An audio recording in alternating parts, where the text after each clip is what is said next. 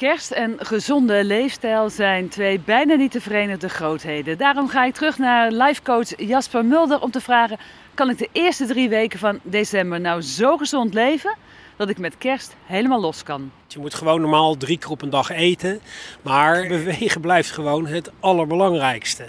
Als je de kilo's eraf wil halen voor de kerst, Ga nou gewoon elke dag even een half uur lekker naar buiten toe. Ga wandelen. Wandelen, uit onderzoek blijkt gewoon de aller, aller, allerbeste methode te zijn om af te vallen.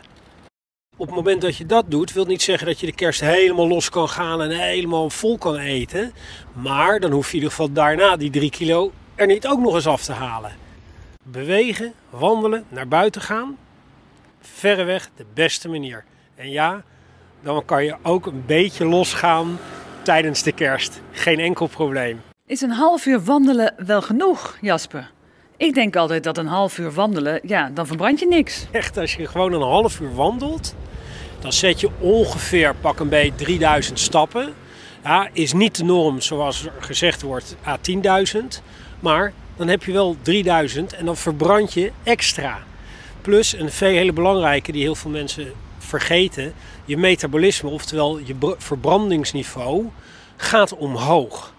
En dat ebt zeg maar nog even na als je in ieder geval dat half uur gaat bewegen. En natuurlijk liever een uur. Maar ja, oh ja, het Singlepark kan je nog gewoon een uur lekker rondlopen. Ik heb een idee. Zullen we dat zo gaan doen?